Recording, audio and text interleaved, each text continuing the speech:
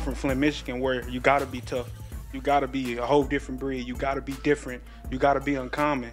You know, so uh, I think that's that's where a lot of my makeup is, and also just you know just going through a lot in in the past and and just being so so hardcore. Just try to just just really try to win every battle.